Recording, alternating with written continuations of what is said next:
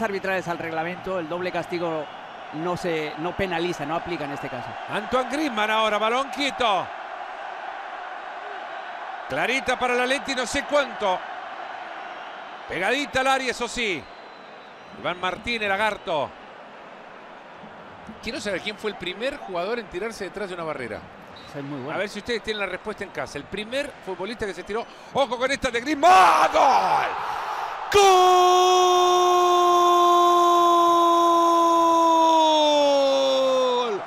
¡De la Leti! ¡El Principito! Con un zapatazo para vencer a Gazzaniga. Aleti 1, Tiro a 0. Griezmann lo ha hecho.